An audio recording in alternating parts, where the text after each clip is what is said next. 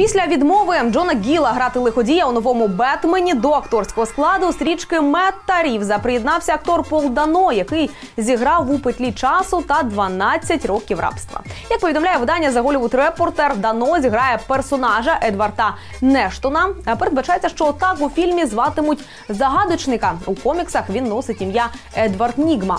У різний час його грали Джим Керрі і Корі Майкл Сміт. Про сюжет майбутньої картини практично нічого не відомо. Вихід Бетмена, до речі, заплановано на 2021 рік.